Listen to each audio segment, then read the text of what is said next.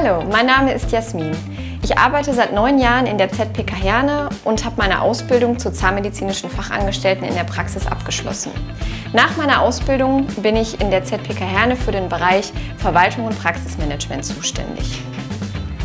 Wir suchen aktuell eine Angestellte für den Bereich Rezeption im Gesundheitswesen.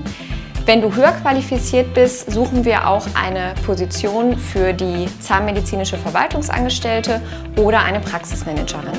Zu den Aufgabenbereichen zählen unter anderem die Rezeptionsarbeiten, die Abrechnung der ganzheitlichen Zahnmedizin, das Erstellen von Kostenvoranschlägen sowie Heilung Kostenplänen und die Abrechnung von Privatrechnungen. Außerdem zählen zu den Aufgabenbereichen die allgemeinen Aufgaben des Praxismanagements. Wenn du eine neue Herausforderung suchst, dann bewirb dich jetzt. Wir freuen uns, dich kennenzulernen.